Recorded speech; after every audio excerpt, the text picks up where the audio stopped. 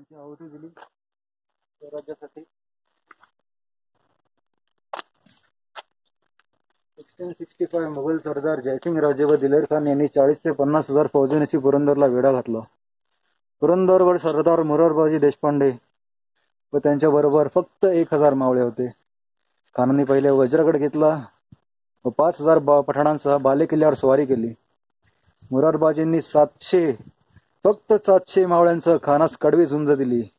मुरारबाजी यांचे शौर्य पाहून खानाने त्यांना आपल्याकडे येण्यास सांगितले. मुरारबाजींनी उत्तर दिले मी शिवरायांचा सरदार तुझा कौल घेतो की काय? असे म्हणत ते खानात खानावर वार करणार तेवढ्यात खानाने तीर तीर तीन तीर मारून मुरारबाजींना घायाळ केले. व लढता लढता अखेर मुरारबाजी पडले.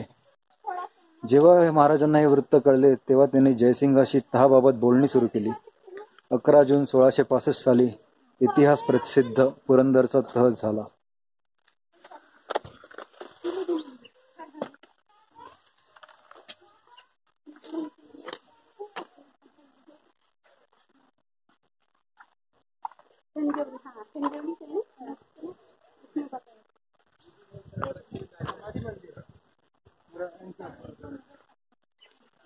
देशपांडे समाधी आहे काय बांधले मग? बोल ब्रो. समाधी मंदिर